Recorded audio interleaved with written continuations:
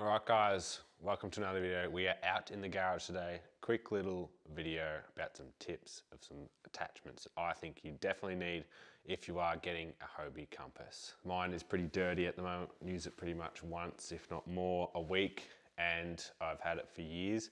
And I do all sorts of fishing. So finesse lure fishing, normal lure fishing, and even bait fishing. I've got anchor trolley on there. Sit up and soak baits. But these are the top three I reckon you have to have in every compass for whatever fishing you're doing. All right, first up we have switching over to a square hatch. It normally comes with the circle one. Definitely recommend upgrading, getting that put in there. But there is one thing you also need. These, made by Berley Pro rather than the Hobie ones. Get the Hobie ones and you try to put that in there. It doesn't quite fit as nicely. You have to push it down a lot more. These edges sit up and it's a lot harder to close. That just fits in perfectly. I've got a couple of them. So at the moment, that's my bait setup one with all my bait stuff that I need. Then I have a lure one that's set up as well for my lure fishing. So I can just swap them in and out pretty easily. All right, number two, another Berley Pro product. Um, it is the seat risers here razors. You screw that one in and it lifts your seat up just that bit extra so you can fit tackle trays underneath your seat a lot easier and you don't actually end up sitting on your tackle trays with the extra bow in the mesh from your seat. It's it fits really well.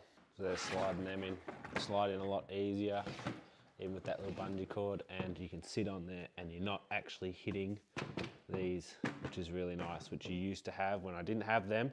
Put those under and they get stuck and you can't pull them out easy unless you pretty much stand up or release some weight so then you can get them out. So that is really handy for extra storage. Number three just flipped over the kayak. Again another Berley Pro product. Um, this transducer cover because when you are dragging your kayak, you're doing all sorts of fishing.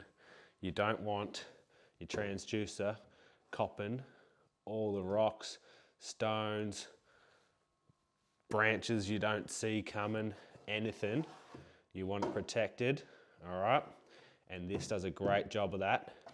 Now, you don't need one of those if you're not doing side scan, but so many tr um, transducers these days with your sounders have side scan, and it is just makes fishing so much easier. So you can't go past having one of them to protect your transducer and you get a really nice picture on your side scan. Hope you guys enjoyed a real quick one. There are three mods or attachments you need to buy for a compass, I reckon, for any type of fishing. You need to get those three. The rest is up to you, what you like. But those three, I don't think you could go without. Catches in the next one.